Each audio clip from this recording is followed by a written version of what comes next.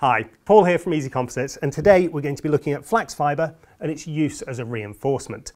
Now, flax is widely understood to be a more environmentally friendly and sustainable reinforcement option over traditional carbon and glass, and in this video we're going to be looking at its advantages and disadvantages.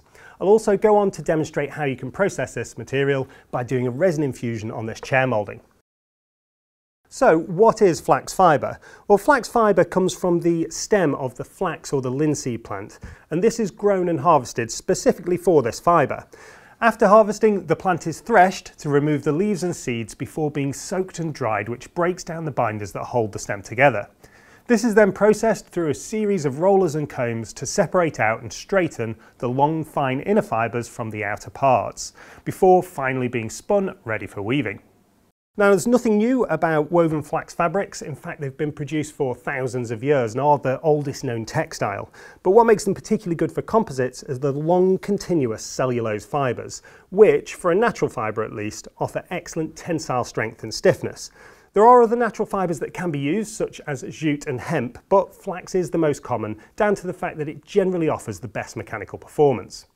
So, what are the main advantages of using this material? Well, probably the most likely reason that you're going to be using flax is for its environmental credentials. Flax is claimed to use between two and five times less CO2 in production than an equivalent weight in glass. And you could probably also make the argument that it's carbon negative due to the carbon that's captured during its growth. So for markets that are environmentally conscious, such as outdoor sports equipment and home furnishings, using flax can meet their demands and really set your products apart. Another advantage of flax is its unique natural appearance. So you can see the sort of deep twill weave effect that we've got on this seat moulding. And I'm going to be demonstrating infusion on this particular part in a few moments. Uh, from a previous video, we've got the infusion that we did on this skateboard with another woven fabric. The snowboard top sheet that we've got here, this is using a unidirectional fabric which not only looks great but also takes advantage of another property of flax which is its excellent vibration damping, making it perfect for high vibration applications like skis and snowboards but it also has its use in sound attenuation and acoustics. That covers the main advantages of using this material, but what are its disadvantages? Well, primarily this comes down to mechanical performance. There are some creative numbers out there that claim that flax can perform as well as glass fibre, but honestly, in our experience, this simply isn't the case. Typically, we've found that flax will perform about half as well as glass fibre, even when you factor in its lower density. So with this being said, we have to acknowledge the fact that some of the environmental benefit of choosing this material will be offset by the fact that you're going to need to use more of it to achieve the same mechanical performance so it's very unlikely that it would be the best choice in a weight critical application. But for less weight critical applications, the performance certainly is viable, which is why we're seeing more and more of its use in composites. Looking now at the reinforcements themselves then, these are made by Eco-Technilin and they are Europe's leading manufacturer of flax reinforcements. And here at Easy Composites, we're proud to be the exclusive distributor of these materials here in the UK and in the Netherlands from our EU warehouse. Of course, for international customers, we can also offer worldwide shipping.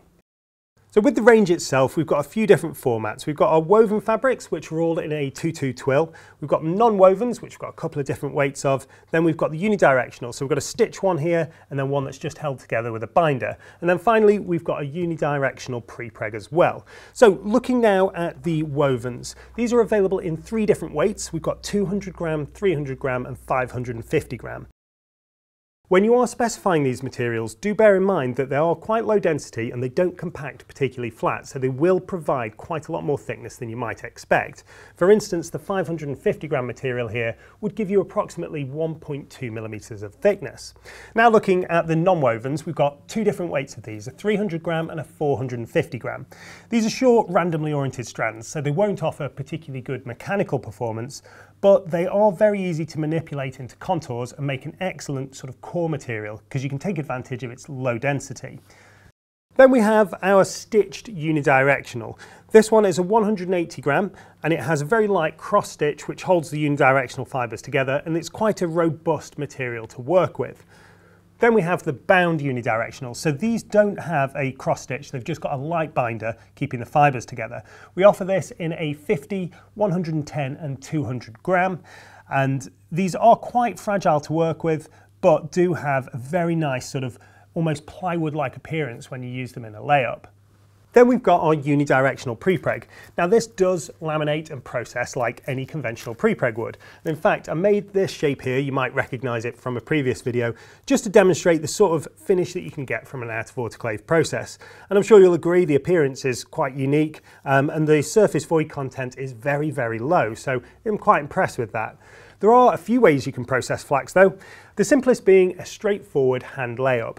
However, I probably wouldn't recommend doing that. The reason is it's quite an absorbent material and so when you hand laminate this with resin, it will absorb the resin like a sponge and it becomes quite thick and can pull in a little bit from the sides. So if you're doing a hand layup, I suggest that you would back that up with a vacuum bag. And what that will do is keep it firmly consolidated and make sure that that sort of expansion isn't a problem. The most common way to process this though would be a resin infusion. And so let's demonstrate that on this chair moulding. So this is the mould for the seat. It's made using the Unimold tooling system and the first thing we need to do is apply the release agent. The release agent I'm using here is the CR1 Easy-Lease Chemical Release Agent. I'm applying this in just the same way as you will have seen us do in many previous videos. So just wiping a thin film over the surface, wiping with a dry cloth if you need to, if there are any runs, and then repeating this six times, leaving 10 to 15 minutes between coats.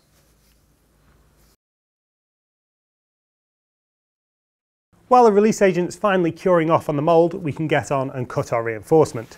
Flax cuts like any other fabric and it doesn't require any specialist tools. So I'm just going to use a good quality pair of shears and then cut round a template that I've made from an offcut of breather. Before laying the reinforcement into the mould, I like to put the sealant tape on at this stage. And the reason for that is that at this point, I know that the mould flanges are completely clean. Later on, once I've got the fibre in there, there is a risk that a fibre would get underneath or onto the flanges where I'm about to put the seal, and that would of course compromise it. These pleats are formed to provide the excess of bag that's required to follow the contours without having to stretch. In this video, I'm only going to skip through the setup of the infusion, but if you are new to this process and want to learn more, have a look through some of our previous videos where we cover this in much more detail. When it comes to laying up with flax, it's much the same as any other reinforcement. The one major difference that you'll notice is that it doesn't drape around compound shapes quite as well as glass or carbon would. And that's down to the fact that the fibres are quite rough and so they don't slide over one another. So although they will go around the compound shapes, they tend to spring back out. So it can make handling a bit more difficult. And so if you're working on a very complicated shape, it's quite often the case that you'll have to use more cuts and sections to make the layout that bit easier. But in the case of this shape, I'm going to basically let the vacuum bag do the work. So I'll just be loosely placing this in position. And rather than trying to secure it all into place, I'll just let the vacuum draw down and that will force it into the compound shapes. A few spots of flash release tape will help to keep the material in overall position during the bagging stage. This particular laminate has three plies of 550 gram twill and all of these are stacked in just the same way and secured where needed.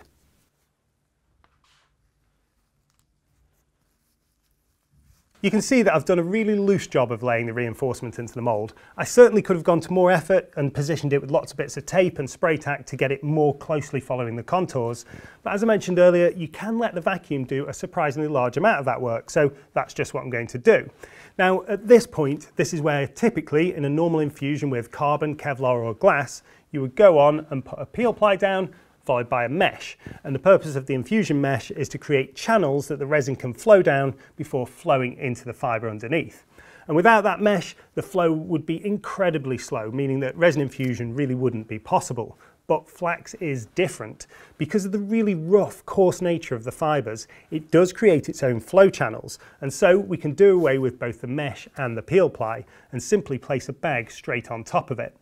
Apart from that, we do need to have the other features that you would see in a resin infusion, like the feed spiral and the vacuum port located as you traditionally would.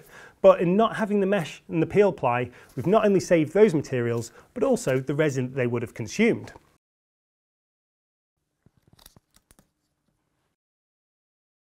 Here I'm just moving the spiral so it's against the reinforcement. That way the resin can flow straight out from the spiral and into the main infusion. So over here on the vacuum line, we're going to just put in a resin break. So this is just a small piece of peel ply. I'm just going to place just off the surface of the part. And what that will do is when the resin is quickly flowing down through the fibre of the flax, it will then pretty much just stop. And that will allow us to maintain a vacuum into this area while the infusion is sort of evening up at the end of its flow. The vacuum bag is then sealed down to the tape, ensuring that there are absolutely no creases or loose fibres that could compromise the seal. And then the resin feed and vacuum line can be connected. I'm also connecting this vacuum gauge to give me a fast, accurate vacuum reading. As the vacuum is pulling down and periodically shutting down the pump to allow me time to slide and adjust the flaxen spiral into position before it's clamped down too firmly to move. Once positioned, a little more vacuum is pulled and then the positioning is repeated until I'm perfectly happy that there is no bridging and the reinforcement is pressed firmly into all of the contours and details of the mould. Once I'm happy that everything is in position properly, full vacuum is applied and tested. Flax, being a natural fibre, will absorb moisture from the atmosphere, and so when you do pull your vacuum down, you might notice that the vacuum doesn't pull down quite as quickly or quite as far as you might expect it to as if you were working with, say, carbon or glass. Now, the reason for that is that as we increase the vacuum level, we reduce the boiling point of water, and so any moisture that's in the fabric will be evaporating and boiling off, preventing the vacuum reaching its full level. Now, it's perfectly possible to pre-dry the material. To do that, two hours at 60 degrees in an oven will drive out nearly all of the moisture. But what that will also do is slightly reduce the drapeability and pliability of the material. So for a part like this, where we've got lots of small compound curves, I prefer to vacuum bag it down first and then leave it under vacuum to drive the moisture out. Now that does take a bit of time, so I'm going to leave this under full vacuum for five hours to get rid of most of that moisture in the fabric. We're now ready to mix the epoxy for the project. Although we could use any infusion epoxy, we're going to be using the IB2 bioresin. Now this doesn't compromise on performance over a traditional epoxy resin, it's just that some of the constituent chemicals that go into making it are derived from plants as opposed to from petrochemicals. So it could be used in a high performance carbon fibre or glass fibre application, but clearly it's very well suited to working with sustainable flax reinforcements. As with any epoxy, the IB2 needs to be accurately weighed out at the correct ratio and then thoroughly mixed for several minutes to ensure that it's completely combined. When you're calculating the amount of resin that you're going to need for a flax infusion, it will be more than you might be familiar with from carbon and glass. Does depend on the particular weave that you're using, but typically you're going to be aiming for a ratio of around about 33% fibre to 66% resin. So whatever weight you have in fibre, Double that and that will give you the amount of resin that you will need. Here I'm just securing the feed line to a stick so that it can be securely held into the bottom of the container without the risk of it falling out. Then the line can be unclamped and the resin allowed in to flow through the moulding.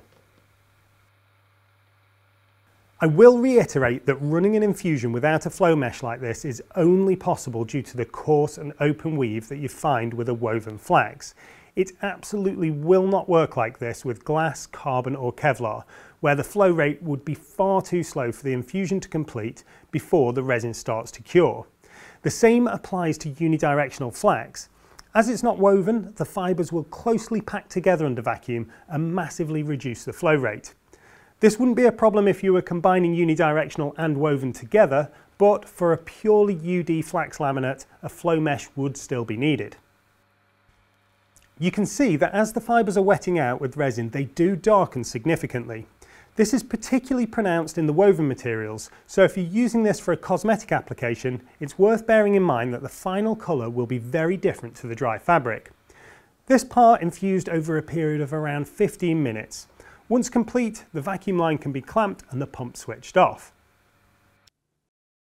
I've now clamped off the vacuum line and switched off the pump, but I am going to leave the resin feed line open for a few minutes longer and that will just allow a bit more resin to flow in, that will take off some of the tension off the bag and for cosmetic parts it can be quite useful because if you do have any slight air bubbles or cavities in there, they will shrink down and become almost invisible. Now that we're clamped off, this can be left to cure. That's going to take about 24 hours at room temperature. This is now fully cured, so we can tear it down and pop it from the mould. The resin cleanly cracking when flexed is a good indicator that the resin has cured sufficiently for demoulding. Then the bag can be removed. I'm considering this vacuum bag to be a consumable, so I will be disposing of this after use. However, with very careful removal, it is possible to reuse the bag. In all honesty, I don't believe it's very practical to do this, and the actual amount of waste plastic produced is less than you would get in a drinks bottle. But if you're really trying to reduce waste as far as possible, then it's certainly something you could try. Demoulding wedges are then inserted around the flange and the part easily pops from the mould.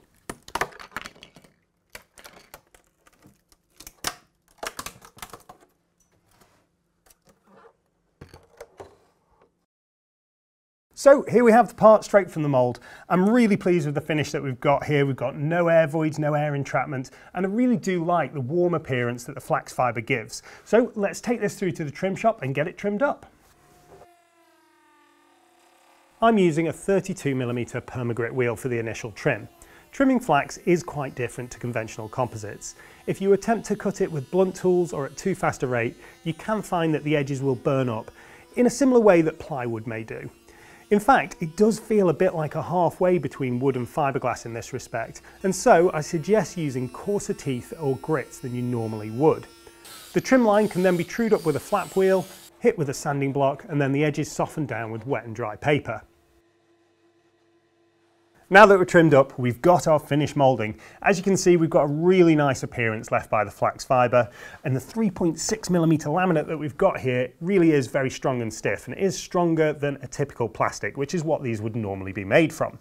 If we look at the reverse of the part, we do have the finish that's been left directly from the vacuum bag. And if you look closely, you can see some lines where the creases in the bag have left marks on the part.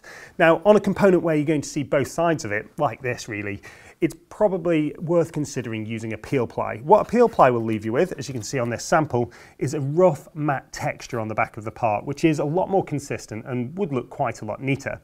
I chose not to use it for this project because I wanted to reduce the consumables as far as possible, but it might be something that you'd want to consider doing. So that's the moulding completed, so this can be now fitted onto its legs and put into service. So that concludes our introduction to flax fibre and how it can be incorporated into various different projects, whether that's for its environmental credentials, its vibration damping, or simply its unique natural appearance. As we've covered, it isn't the answer to everything, and for weight critical applications like in aerospace and motorsport, it's unlikely to be the best reinforcement choice. But in less weight critical applications, it certainly has some unique advantages, which is why we're likely to see much more use of it in the future. I hope we've got you thinking of ways that you might incorporate these materials into some of your projects. And if you do, remember that all of these materials, including the flax, the bioresin, the pumps and equipment, are available to buy online on the Easy Composites website. As ever, a huge thank you to all of our customers and subscribers for your support, and I'll see you next time. Of course, all of the equipment and materials that you've seen used in this video can be ordered online from the Easy Composites website. If you're based in the EU, you can now order directly from our Netherlands warehouse on easycomposites.eu, and for the UK and the rest of the world, please visit easycomposites.co.uk.